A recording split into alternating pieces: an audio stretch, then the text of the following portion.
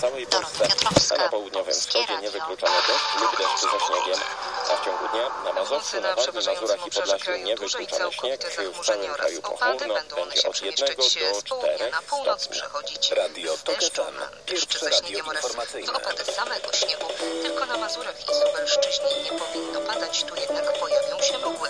Temperatura wyniesie od minus 5 stopni na krańcach północno-wschodnich Powtórka. Cezary Łasicka, program Owczarek, studio doktor habilitowany Mateusz Małanowski, Polskie Radio 24. Politechnika Warszawska. Dzień dobry, witam serdecznie.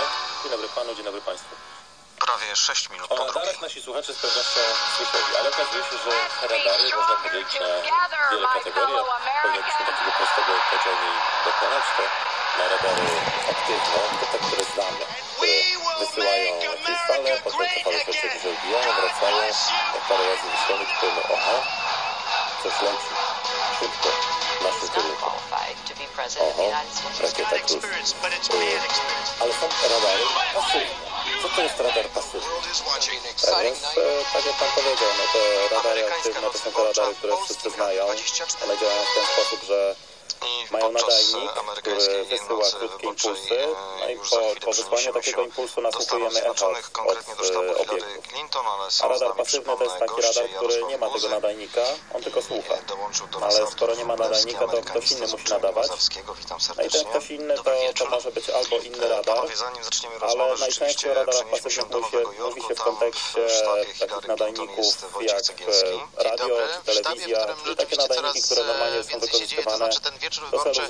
niby się rozpoczął, a tak naprawdę jeszcze się nie rozpoczął, przynajmniej na scenie, gdzie gdzie powinny właśnie występować osoby jeszcze nie występują. Ja przed chwilą rozmawiałem z jednym ze sztabowców, mówił że e, wszystko jest elastyczne, program, program jeszcze nie jest dopięty tego, co się będzie działo tutaj na scenie, bo wszystko będzie zależało od wyników wyborów. Jest pole, trudno mi powiedzieć ile, co najmniej kilka tysięcy osób pole, e, w Jacob Javits Center, tak, e, które czekają na te wyniki i czekają z coraz większym entuzjazmem, bo te wyniki przedstawiane przez amerykańskie media, co trzeba tutaj podkreślić, nie nie są jeszcze wynikami, na podstawie których można wyciągać wnioski, ale delikatnie pokazują to, e, że Hillary Clinton jest dużo bliżej zwycięstwa w tych wyborach. W tej chwili z tych stanów, które są podliczone, wynika 68 głosów dla Hillary Clinton, 48 głosów. Oczywiście elektorskich dla Donalda Trumpa. E, te, te stany, które są podliczone, są dość oczywiste, bo Clinton wygrała Illinois, Vermont, e, Massachusetts, na Rhode Island, w DC, Waszyngtońskim, Trump budować radar pasywny, Indianie, no to powinniśmy e, w Tennessee, e, w, e, przeanalizować ten sygnał, który to są do nas dociera. Stany, które, no i robić to w ten te, te wyniki są rzeczywiście oczywi- radarze o, dość rzeczywiste, ale spójrzmy, co dzieje się w Stanach, które, impuls, a potem później które jest cisza. I w tej są ciszy, dopiero liczone. Floryda, znaczy wtedy, tak, ten najważniejszy stan. Słuchamy, tak, cały czas mówimy. 49% Hillary tak. Clinton, 47% Donald Trump. Po podliczeniu, po podliczeniu 75% głosów, czyli ciągłych. No i teraz musimy odróżnić e, ten sygnał, który z tych bardzo przychodzi, od tego sygnału, który jest sygnałem odbitym od obiektów. E, no i zwykle ten sygnał odbity od obiektów jeszcze, dużo, dużo trochę zostało, ale Hillary Clinton prowadzi. Musimy to kolejny ze e, Swing States, 14% głosów policzonych, 50% dla no Hillary Clinton, 45% za Donalda Trumpa. To się oczywiście wszystko zmienia, bo my tutaj też w sztabie patrzymy i ci wszyscy, którzy tutaj są, reagują mniej lub bardziej słabe echo.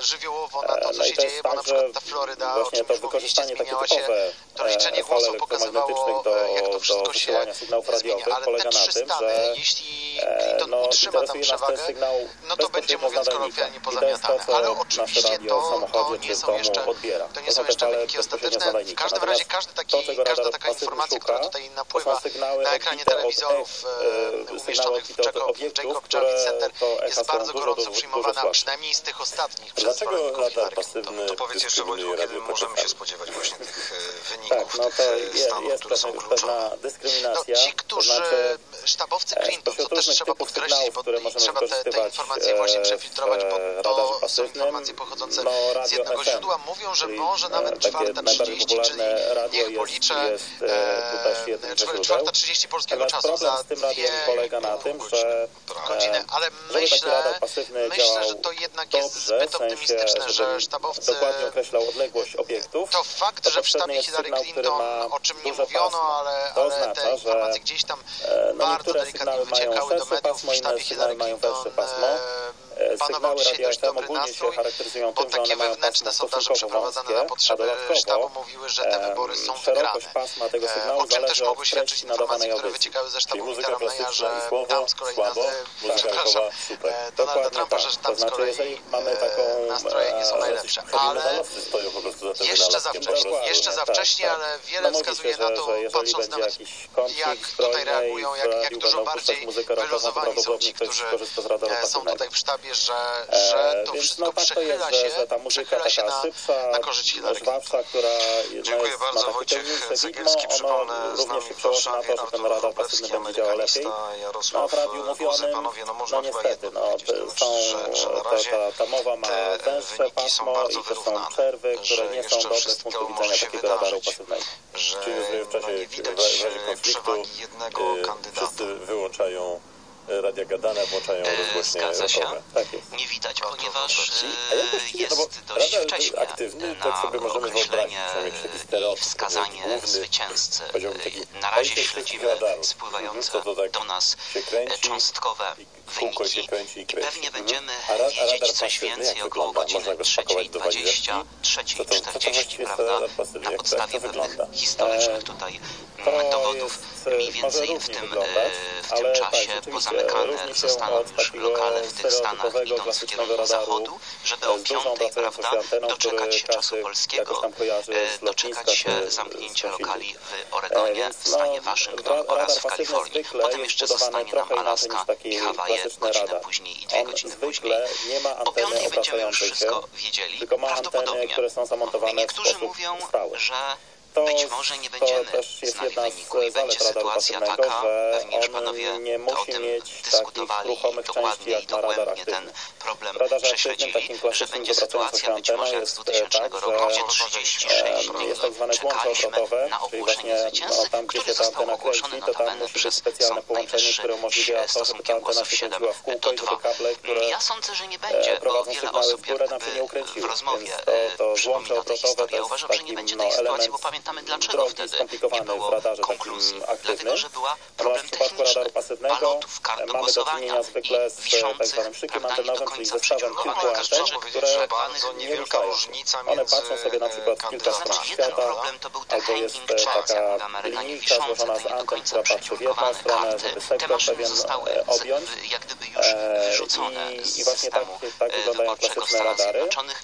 Była taka ustawa w październiku 2002 roku, Ameryka mm, Voting Act, czyli ustawa, mniejsze o niż takie duże anteny, jak bardzo znamy właśnie z lotniska, rzeczy które mają było między innymi zastąpienie tego punch card, czyli tych kart do przewijania przy pomocy tego leveru, czyli prawda, tej dźwigni systemem elektronicznym. Więc być może będziemy mieli inny typ problemu. Jednak wtedy był problem, że nie wiedzieliśmy jak interpretować e, dany balut, czy jest przebity, czy nie jest i tak dalej. Jeśli mamy system elektroniczny, to będziemy znali natychmiast wynik, prawda? Ale powstaje drugi problem, czy drugie pytanie, 啊骂我 przy bardzo niedużej różnicy głosów między kandydatami w danym stanie, czy właśnie jeden z tych kandydatów nie będzie e, proponował, zabiegał, zwracał się do sądu o przeliczanie powtórne głosów.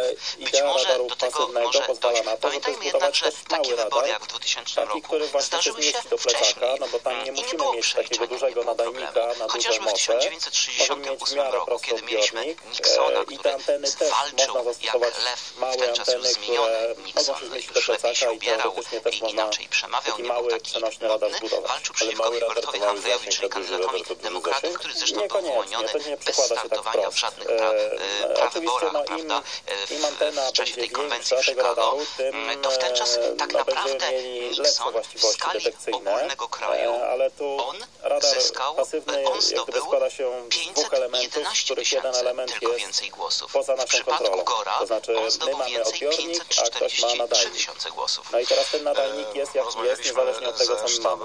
E, Więc gdyby duża część zależy od tego, jak silny jest ten nadajnik, jak on promieniuje, w których kierunkach. Natomiast trochę tak jak darmowy Wi-Fi, możemy łazić po bloku i patrzeć, kto ma najsilniejszy i sobie ściągać na korytarzu albo taki ostrożny e, optymizm. robić, to mówił Wojtek Cegielski, że no raczej nastroje są takie pozytywne, że, tak, że wszystko idzie tak w dobrym kierunku. Jakie nastroje w sztabie Donalda Trumpa? no można powiedzieć, że wszyscy na początku odetchnęli z ulgą i zobaczyli, że trzy stany, e, te, które projektowano, że będą e, i wygra, wygra tam Donald Trump, no potwierdziły się te przypuszczenia, to oczywiście nastąpiło w momencie, kiedy tylko jeden stan był e, za Hillary Clinton, Vermont. Natomiast tutaj już mówimy o tym, że zachodnia Virginia, na pewno już Indiana, Kentucky należą do tych stanów oczywiście jeszcze tutaj jest faliczenie, bardzo tym się ekscytują i na to bardzo mocno patrzą e, tutaj w sztabie Donalda Trumpa, co się dzieje na Florydzie, bo te słupki poparcia cały czas się zmieniają. No, coraz Państwa będzie bardzo pilnie patrzymy na to, I tą co się dzieje informacją zakończyliśmy wiadomości za w Radiu dowiedzieć się, co się wydarzyło w Ohio, bo przecież to jest ten stan, o który walczyli zarówno Clinton, jak i Trump. E, też są już pierwsze wybrano prognozy, co się dzieje w innych stanach, na przykład w Delaware Hillary Clinton, Massachusetts Clinton, Washington, DC Clinton, New Jersey, Maryland Clinton, no ale mówi się, że już na przykład południowa Karolina, gdzie 9 głosów, elektora, z elektoratu może dostać Trump, y, Oklahoma, tam 7. Także ta sytuacja jest cały czas dynamiczna i myślę, że też dynamicznie zmieniają się tutaj nastroje, ale jak te dopiero wielkie Stany zostaną obliczone włącznie z Florydą, wtedy myślę, że będziemy mogli rozmawiać o naprawdę y, prawdziwych y, emocjach, które wyrażają tutaj, tutaj zgromadzeni ludzie. Dziękuję bardzo, Michał Żakowski z Nowego Jorku, jak słyszeliśmy z z hotelu Dodatek Szlachetne Zdrowie, Pawlin, jest sztab przyczyny, objawy i metody leczenia nerwicy były to wybrane problemy, e, tematy, artykuły z codziennej prasy polskiej. Nie, nie, nie, wiemy na razie, Państwo, na czyją szalę to się tak naprawdę przechyli. Natomiast ja bym chciał wrócić do tego wątku, który tym, którzy wcześniej rozpoczęliśmy, to znaczy, że zostały rozbudzone pewne nadzieje, że zostały rozbudzone takie ogromne oczekiwania. E, można chyba powiedzieć, że i po jednej i po drugiej stronie. To jest e, tak, że tym nadzieją rzeczywiście będzie można sprostać? Co co się e, Tymi, I którzy, e, no, padła taka propozycja, tak w sensie takim, aby kandydat przegra, jednak Hayoka e, przegrają. złożyć dar już wydar dla Maria, dar finansowy, tak zwaną złotą różę, różę dla Matki Bożej. Już wielu na tę propozycję pozytywnie odpowiedziało. Między innymi taki sygnał dostaliśmy z Gary, Pytanie o Senat jest bardzo istotne. Czy demokraci odzyskają przewagę w Senacie? To jest bardzo istotne również z punktu widzenia funkcjonowania ewentualnie Hillary Clinton jako prezydenta, bo przez Senat przechodzą nominacje na przykład. A bardzo istotne z punktu widzenia sprawowania władzy przez prezydenta. Również kwestia Sądu Najwyższego to też jest e, również rola Senatu. Hmm. Ale jedno jest pewne, e, polityka amerykańska się zepsuła, bo między innymi stała się no, bardzo skrajna, to znaczy tak, dwie kadencje Obamy, w tej chwili o tym zapominamy, ale to są dwie kadencje. E, tak naprawdę walki z e, republikanami w kongresie i e, ewidentnie zatracenie pewnej zdolności, która charakteryzowała moim zdaniem system amerykański zawierania kompromisów. I tutaj, jeżeli będziemy mieli do czynienia właśnie z pan Jan Dolatowski, pan Stanisław Las, pan Kongresem Krzysztof, pan Bogusław Halka, pan Grzegorz e, Dolina, pani Władysława Kubiak, pan Marian Wiza, pani Lucyna Poloczek, e, pan Starożyński, e, pan Stuart Marczyk, pani Zofia Arendt, pani Teresa Grabowski oraz pani Marianna Kubak. Natomiast ofiarodawcy Stanów Zjednoczonych do jakiej powinni dojść republikanie, e, którzy e, wygrywając wybory jednocześnie nie sprawują władzy. Bardzo długo czasu George'a W. Busha jednak tej kadencji, to była kadencja prezydenta demokratycznego, jeżeli w była kolejna kadencja demokratów, to duża porażka partii, która Pani Maria Porada, Pani Marianna Wilkowski, tak Państwo Adam i Barbara Dąbrowski, Pani Czesława to jeszcze raz przenieśmy się do Stanów Zjednoczonych. E, połączmy się z Janem e, Pachlowskim. E, witam. Murawka.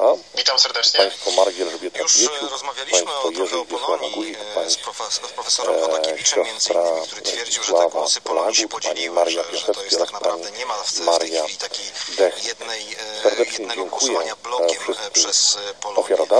Czy twoim zdaniem to jest tak rzeczywiście, że mm, Polonia jest podzielona i Radio Maria, mm, szczególnie no, i nie, ma wyraźnego mm, faworyta w tych tutaj w. Kanadzie, czy też Ja w Stanach Zjednoczonych. to tak, ponieważ E, od Przypomnę teraz, dni jestem właśnie w e, w Chicago sposób i e, tutaj śledzę te różne opinie na temat właśnie wyborów e, w środowisku polonijnym. Nie są prowadzone Drodzy żadne słuchacze, statystyki. I tak jak Serdecznie mówi ulica, dziękujemy tak Wam jak za Waszą pomoc materialną dla Radia e, Maryja, Chicago, które tak jak, e, utrzymuje się jedynie z dobrowolnych tak ofiar jak ludzie radiosłuchaczy. Dlatego jest głosem wolnym i niezależnym od jakiegokolwiek kapitału. Przypominamy informacje o tym, jak pomóc e, Polonii Maryja.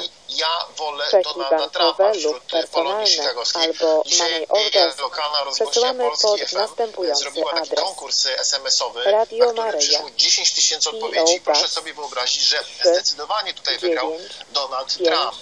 Natomiast 6, prezes 5, Kongresu Polonii Amerykańskiej, Chicago, najważniejszej, największej e, 6, polskiej tutaj 0, organizacji w 6, Stanach Zjednoczonych e, 3, jasno 9, jeszcze na kilka dni przed wyborami podkreślał, że 0, Kongres nie poprze 5, żadnego z kandydatów i 5. e, zachowa apolityczność i Powtarzam. będzie współpracował z każdym, Radio kto Maryja. będzie przez najbliższe 4 PO lata u władzy i będzie 45. gospodarzem Białego Domu. Jak mówiliśmy już o 6, Polakach głosujących, 5, to ja właśnie znajduję się teraz Chicago, przed zamkniętym Illinois, kilka minut temu w jednym 6, z lokali wyborczych 0, tutaj w Wiecznym 6, Mieście parafii 3, Świętej Konstancji. To 9, jest e, polska kreska, parafia. Tutaj 0, odbywają się 5, także polskie e, wybory 6, do Sejmu i Senatu. 5. Odbywają się e, w tym przypadku Za wybory ofiarodawców na 45. codziennie modlimy prezydenta Stanów Zjednoczonych. Tu głosują nasi rodacy i między kilka innymi mszy wśród tych sędziów elekcyjnych, czyli po polsku mówiąc jednym z członków tutaj komisji wyborczej jest Polak mający również obywatelstwo serdecznie Roman Walczak. I dziękujemy posłuchajmy, za co mówi wielorakie właśnie o wsparcie, dzisiejszym głosowaniu e, Państwo Polonii właśnie akurat i tutaj dzieła w Chicago, powstałe. w tym W Kanadzie Radio. Maryja i że właśnie wspieramy zorganizowane w polskiej parafii, parafii Świętej. Kotacji. Podsłuchajmy Roman bankowe albo money orders właśnie wypisujemy na Radio po Kopertę 90 i nawet adresujemy. Radio młodsi, 511 to nie przychodzą Maple Grove Drive Unit to także 19 nie wiem, czy nie mają odwagi, PO Box pierwszy raz głosować, 61 drugi raz tylko z rodzicami 047 przychodzą. Ciekawe właśnie, to Oakville, zauważyłem. Ontario, Pytają właśnie, jak się głosuje, że głosują po raz pierwszy, L6J bo 7 głosowanie polega na P5. łączeniu szczałki, które Wsparcia Radia są Maryja można dokonać także w każdym oddziale? St. Stanislaus. St. Kazimierz Polish Parish Credit Union. Za każde życzliwe wsparcie Radia Maryja i jego dzieł składamy serdeczne Tylko oczywiście media są skierowane na dwóch kandydatów, a tak naprawdę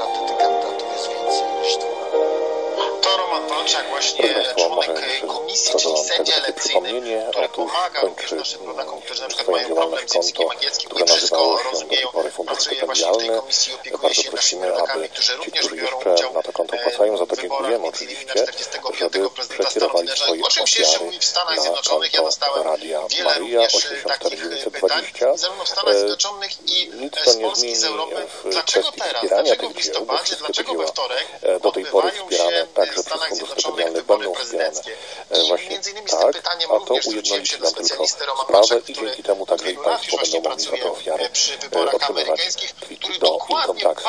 E, Także raz jeszcze serdecznie, wtorek serdecznie wszystkim dziękuję za wspieranie Radia prezydenta i jego dzieł dla wszystkich To ofiarodawców.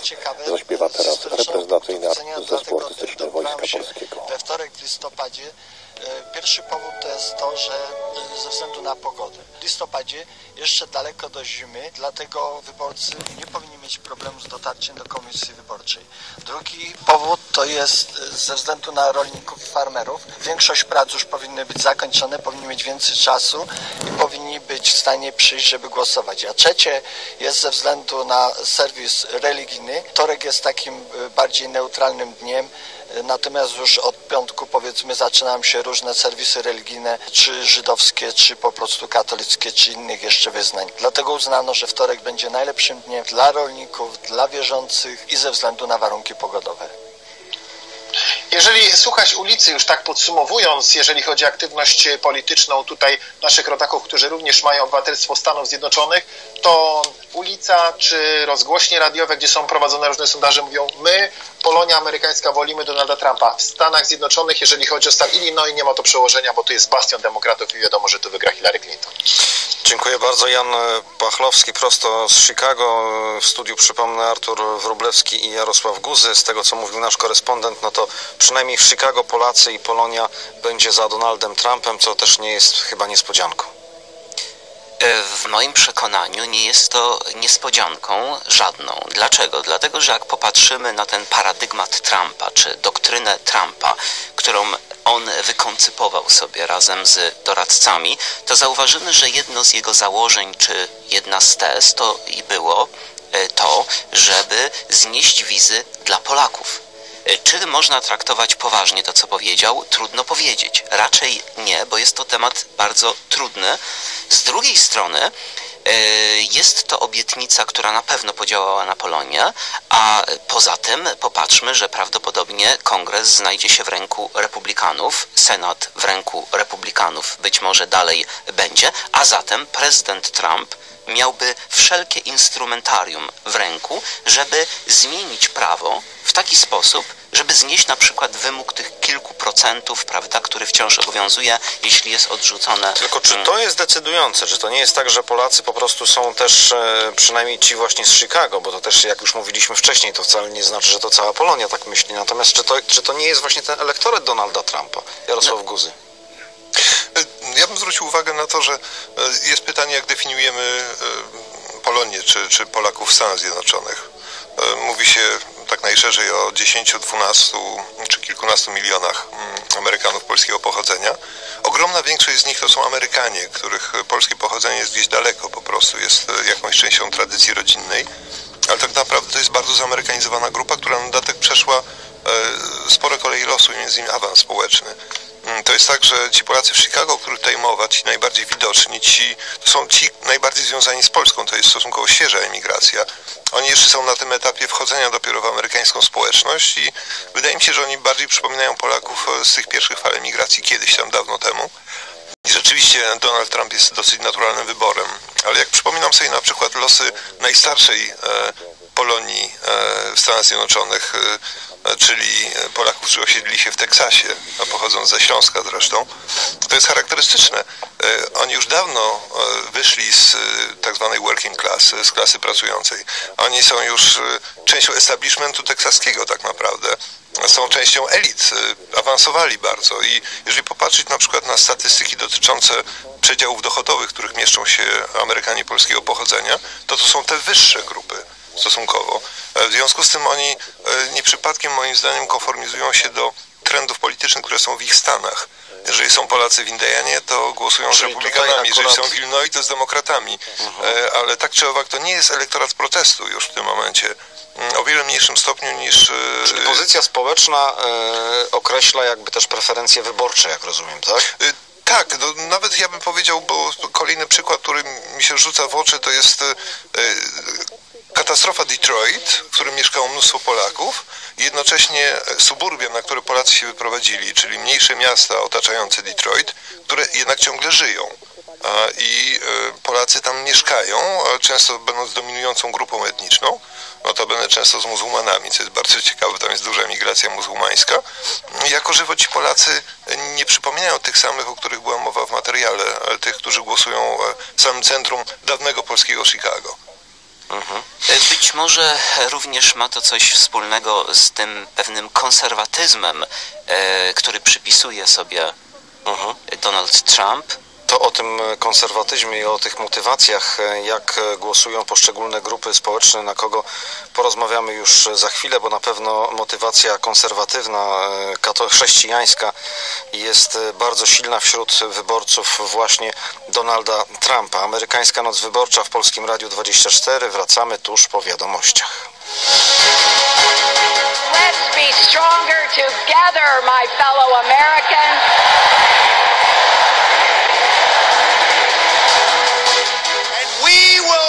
Make America great again. God bless you and good He is not qualified to be president of the United States. He's got experience, but it's bad experience.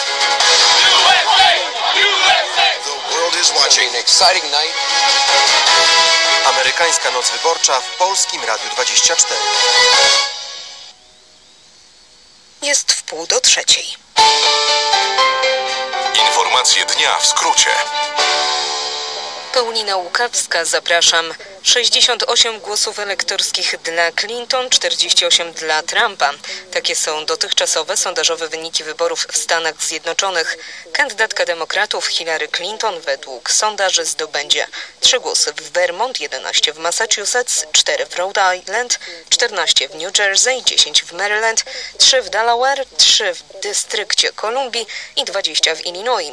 Donald Trump według sondaży ma zdobyć głosy 11 w Indianie, 8 w Kentucky, Kentucky, 5 w zachodniej Virginii, 11 w Tennessee, 6 w Mississippi i 7 w Oklahomie. Trwa oczekiwanie na rezultaty głosowania z Florydy i Ohio, kluczowych stanów w kontekście ostatecznego wyniku wyborów. Wstępne przewidywania wskazują, że wynik obydwu kandydatów będzie bardzo zbliżony.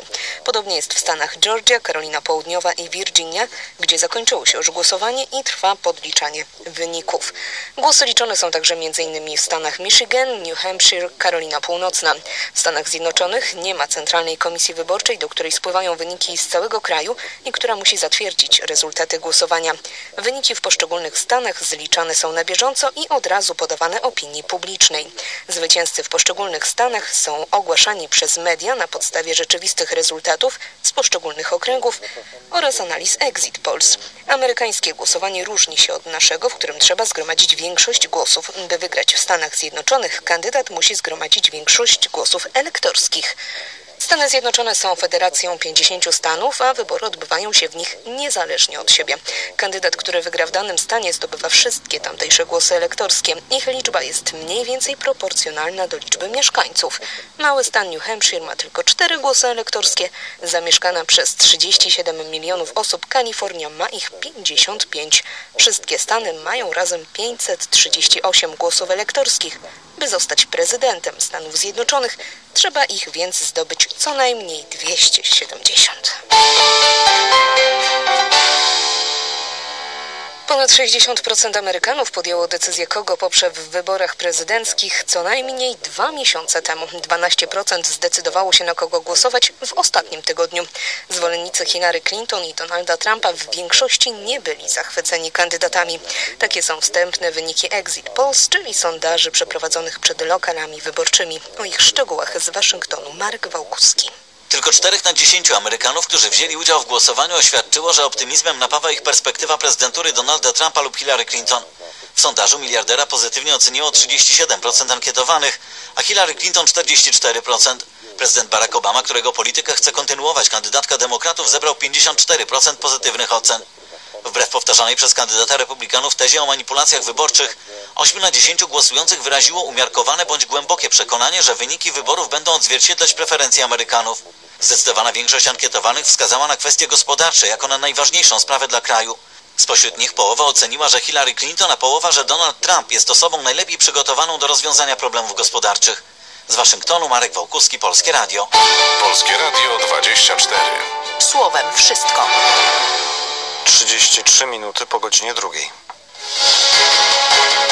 Let's be stronger together, my fellow Americans.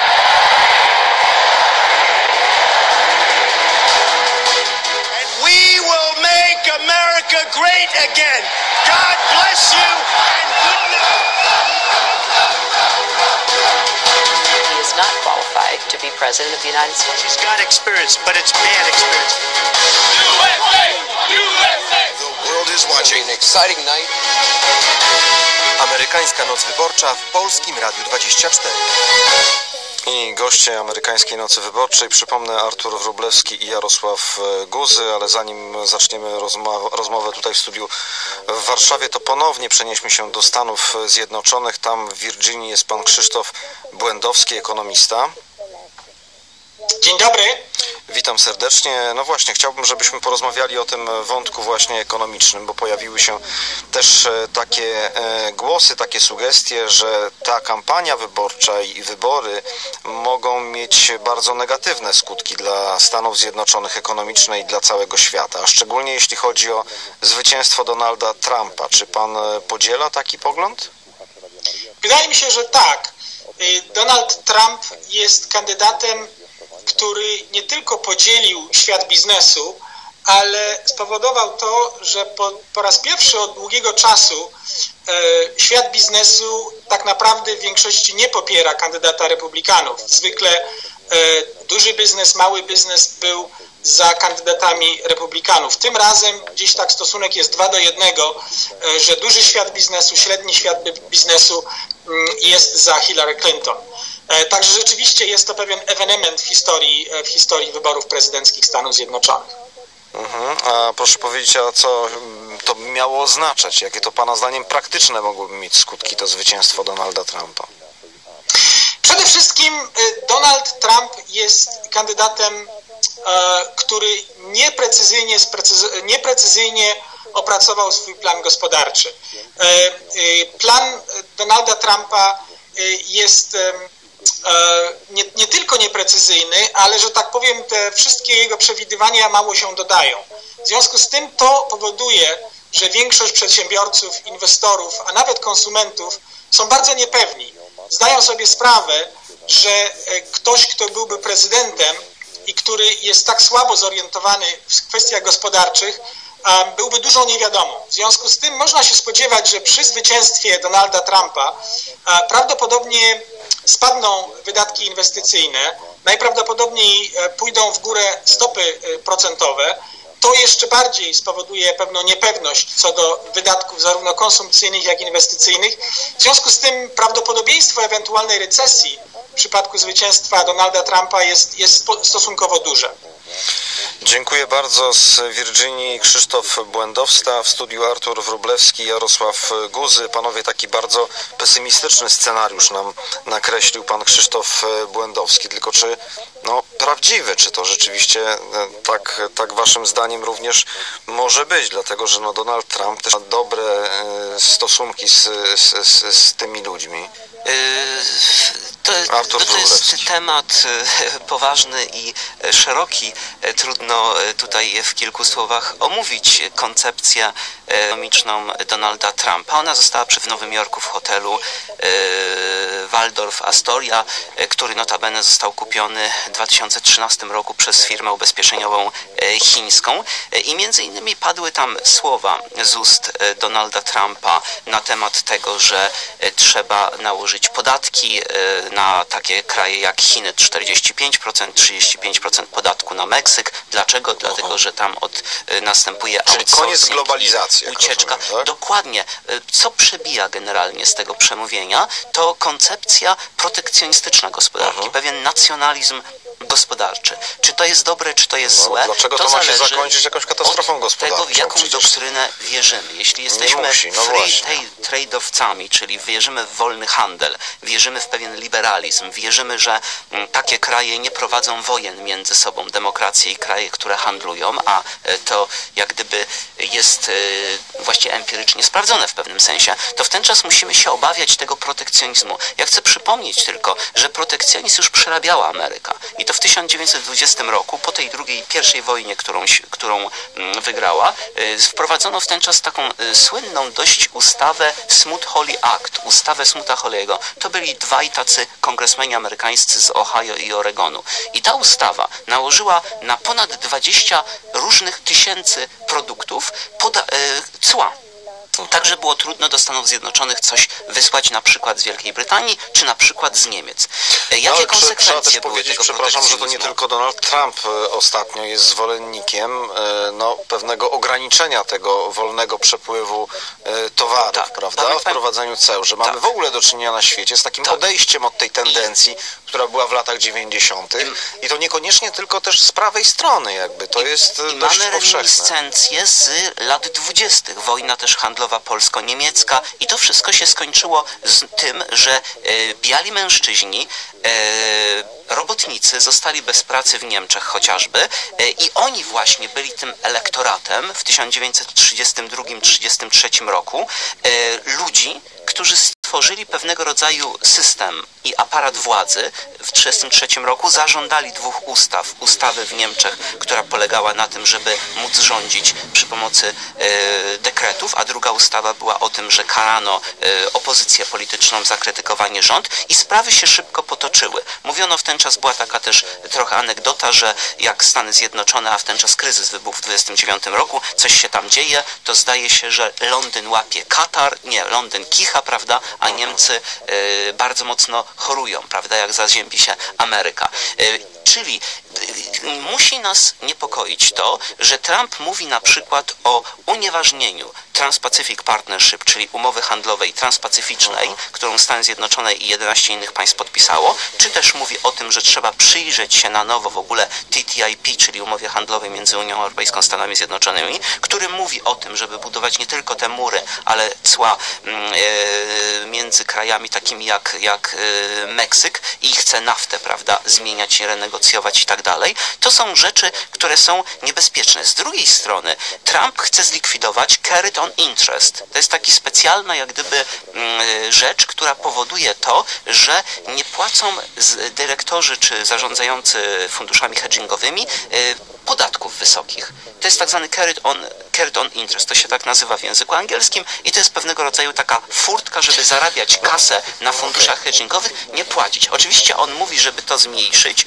e, zlikwidować, dlatego że on z innych ulg korzysta, ponieważ w innym jak gdyby obszarze pracuje, w nieruchomościach, prawda? Więc może sobie na to pozwolić. Poza tym wiemy, że finansjera stoi murem za demokratą i za panią Clinton. Dlatego on jest taki tutaj hojny. Ale jedna rzecz, trzy podatki, trzy na przykład stawki podatkowe wprowadza. 12, 25, 33%. 30 chce obniżyć podatek kończąc już dla korporacji z 35 do 15%.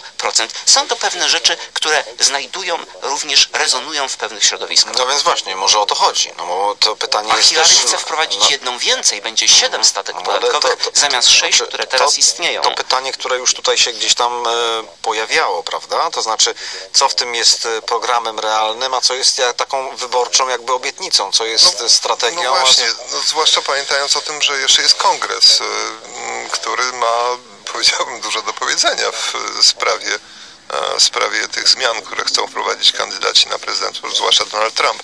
Ale ja bym nie widział jednak y, tej wizji Donalda Trumpa jako pewnej spójnej całości.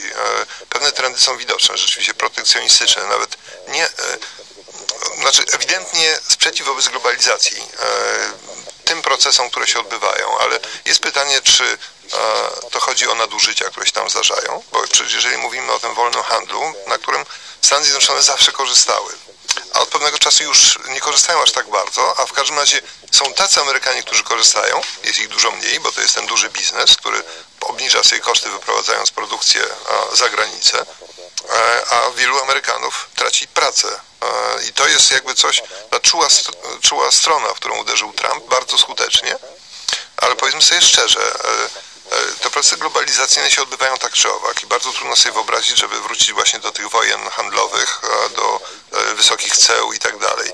Ale to, co na pewno można zrobić, jest pytanie, czy są zdolni to, tego, mm, tego dokonać kandydaci na prezydenta, to znaczy nadużycia, bo powiedzmy sobie szczerze, Chiny to jest kraj dumpingu. Chiny zostały przyjęte do Światowej Organizacji Handlu, podobnie jak Rosja, całkowicie niezasadnie. To znaczy nie spełniały żadnych warunków tak naprawdę z punktu widzenia uczciwej konkurencji na rynku. Wiadomo, że Chińczycy produkują tanio, wiadomo, że produkują w tej chwili coraz drożej, bo im koszty też. Mm, ale powiedzmy sobie szczerze, e, byliby dużo mniej konkurencyjni, gdyby nie korzystając z przymknięcia oka przez elity, między innymi amerykańskiego biznesu, ale i europejskiego biznesu, gdyby byli zmuszeni do konkurowania po rzeczywistych kosztach. Bo przecież i gospodarka chińska, i rosyjska to nie są gospodarki otwarte, to nie są gospodarki wolnorynkowe w pełni, chińska w szczególności. Więc y, jest tutaj pytanie, czy y, będzie jakaś korekta na przykład. W przypadku Clinton prawdopodobnie nie. Niezależnie od tego, jak e, widzieliśmy w trakcie kampanii wyborczej, jak prawdziwy dobry kandydat reagowała na sygnały.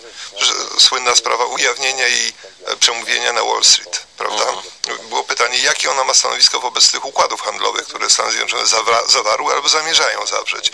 I nie było to jasne po prostu. Wydaje mi się, że e, tutaj Amerykanie e, mówią coś swoim kandydatom, i również Clinton, jeżeli rzeczywiście chce mieć skuteczną prezydenturę, to musi również zwrócić uwagę na to, co się dzieje.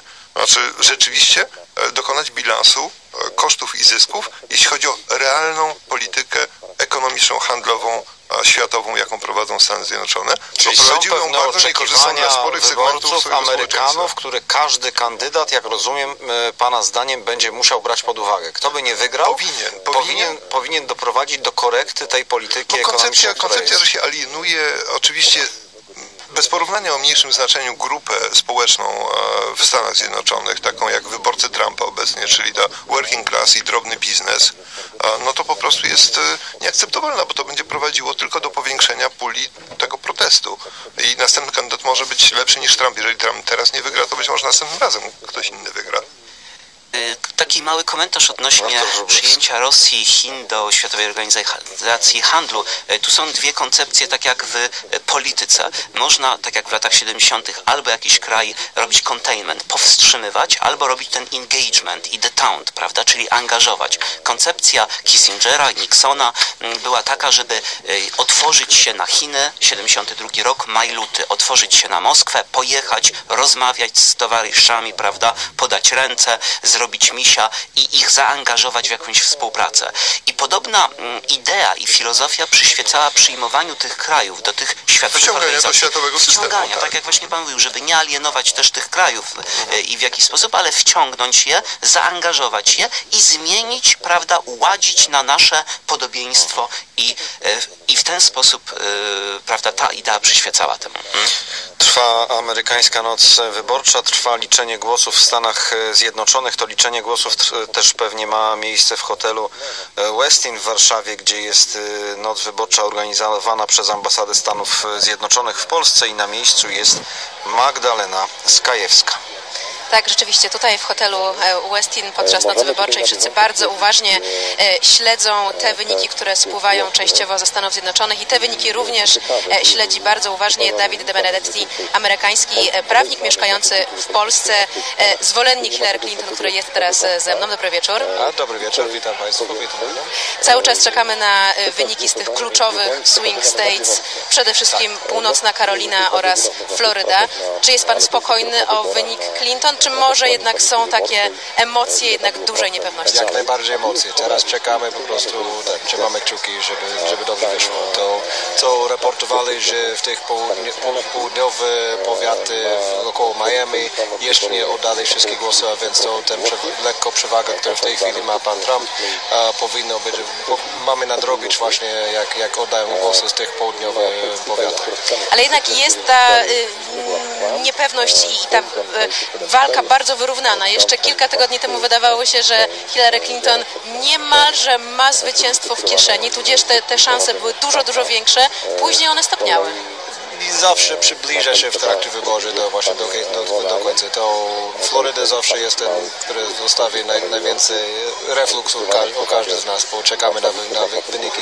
Tak samo jak Ohio, przepraszam, to patrzymy o Virginii, jeszcze wstępne. A, ale, a więc Floryda, jak Pani mówi, North Carolina, Ohio, także to czekamy, trzymamy kciuki i zobaczymy. Oczywiście dużo adrenalin. Nie wiemy jak to będzie. Jeśli Hillary Clinton y, ten wyścig wygra, co według Pana będzie taką, będzie głównym powodem, dla którego ona, e, ona zwycięży? Ona jest najlepszą kandydatką, bez wątpliwości najbardziej kwalifikowana i e, właśnie całe partie republikańskie wskazali, że wybrali populistów, a nie. Więc to, a to wynika z tego, że tak prędko poszło im wyborze ostatni raz. Ale Clinton też jest kandydatką kontrowersyjną. Ona też jakby e, na nią spływały fale krytyki w bardzo różnych momentach. w życiu be- bez kontrowersji. To nie da się. To każdy ma kontrowersje na taki wysoki poziom. A czy jest to taka kandydatka i czy ewentualnie będzie to taka prezydent, która według Pana będzie potrafiła zjednoczyć Amerykanów? Bo jednak e, bez wątpienia, jak wszyscy zresztą mówią, e, mamy do czynienia ze Stanami bardzo podzielonymi. Niestety uważam, że pan i tak będzie podzielone. To niestety, bo to już przestało być kwestie faktyczne dla tych republikanów. To jest tylko emocjonalne. To oni są przeciwko. Dlaczego? Bo są przeciwko, a nie mają jakieś pewne podstawy. Nie różnią się, kiedy chodzi o polis, e, właśnie polityka wewnętrzna czy zewnętrzna, tylko nie lubią jej. I niestety tak będzie. No i To jest też kluczowe, jeżeli chodzi o te wyniki do, do kongresu, które em, również teraz, y, teraz również śledzimy. Izba reprezentantów e, pewnie zostanie w rękach republikanów. Demokraci liczą na Senat. 50, 50-50 tak zwane teraz, no właśnie, e, żeby przejąć e, w Senacie. Trzymamy kciuki, ale cały czas nad adrenaliną czekamy. Ale ta współpraca będzie pewnie trudna z kongresem. Dawid De Benedetti, amerykański e, prawnik mieszkający w Polsce, zwolennik Hillary Clinton, był Państwa i moim gościem. Oddaję głos do studia. Magdalena Skajewska z hotelu Westin z Warszawy. W Warszawie, a w, u nas w studiu przypomnę Artur Wróblewski, Jarosław e, Guzy. Panowie, cały czas tak naprawdę wszystko się waży, tak możemy chyba powiedzieć. To się cały czas zmienia. Wydawało się, że na Florydzie jest już przewaga Hillary Clinton. Teraz e, wydaje się, że jest przewaga Donalda Trumpa, ale no, głosy cały czas spływają, cały czas są liczone. No to jest ta dynamika, Dynamika. wieczoru wyborczego. Inaczej nie byłoby zabawy, nie siedzielibyśmy tutaj, jakby wszystko było oczywiste, prawda? E, Natomiast nie jest oczywiste i z tego powodu będziemy w napięciu pewnym, czy w pewnym suspensie zawieszeni, prawda? Być może później jeszcze w suspensie, jeśli Trump przegra i nie uzna tych wyborów. Jednakże ja bym chciał zrobić jeszcze pewien komentarz tutaj, co mm, pan redaktor wcześniej e, powiedział o tym, że mamy być może jakiś kryzys, jakiś dołek, jakiś impas w systemie politycznym Stanów Zjednoczonych, jakiś głęboki kryzys i rzeczy nam się mm, chylą ku upadkowi. Może to będzie już, jak jeszcze Trump wygra, jakaś e, kupa e, kamieni, prawda, i gruzy i, i, i, i, i tak dalej. Ja uważam, że nie. Jak popatrzymy historycznie, tak króciutko, patrząc na te 230-240 lat tej państwowości pod tą konstytucją Stanów Zjednoczonych, bo wcześniej mieliśmy inną, to widzimy, że było bardzo wiele bardzo dramatycznych, tragicznych, niesamowitych tak naprawdę e, kampanii wyborczych i, e, i wydawało się, że to jest kryzys wielki w Stanach Zjednoczonych. I Ameryka jest dość i ten system e, trój, tych, tych Nie, nie, zasad ja, tak ja dalej, raczej myślałem, myślę, że, że, że, że, że chodzi jednak bardziej nie o samą kampanię wyborczą, tylko że o to, że no, jakby te wybory pokazują, że jest bardzo duża grupa e, Amerykanów, którzy no, w, jakiś, w jakimś sensie czują się źle w swoim własnym kraju. Czują, że, Na w latach 60. nie są... dobrze się czuli protestując przeciwko Wietnamowi i krzycząc LBJ, LBJ, how many kids did you kill today przed Białym Domem? Nie.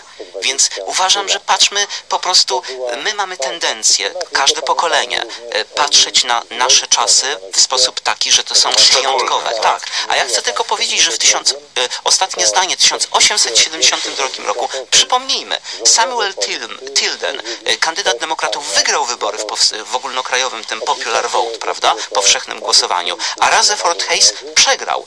I kilka stanów, cztery stany, były tak naprawdę, trzeba było przeliczyć, tak jak w 2000 roku. I przeliczano, ale w rezultacie powstała komisja do przeliczenia i zawarty został taki brudny deal, można powiedzieć. I tak naprawdę oddano zwycięstwo wyborcze Rutherfordowi Hayesowi, kandydatowi republikańskiemu, w zamian za to, że on obiecał i że partia republikańska zni, z, jak gdyby zniesie taki reżim szczególny po wojnie secesyjnej, który na południu wprowadzono, żeby prawda tam trzymać i kontrolować sytuację. I w rezultacie Samuel Tilden został, można powiedzieć, okradziony ze zwycięstwa. Czyli było jeszcze gorzej. Co prawda było to 130 lat temu, czy 140, ale było jeszcze gorzej niż teraz.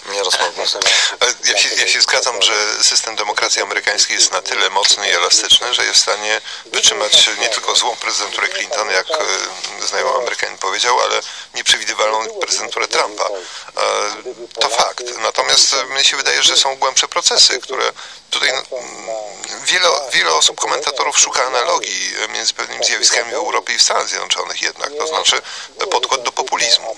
Populizm zawsze rodzi się wtedy, kiedy elity przestają, przestają być reprezentatywne w sensie e, uwzględniania interesów dużych grup społecznych.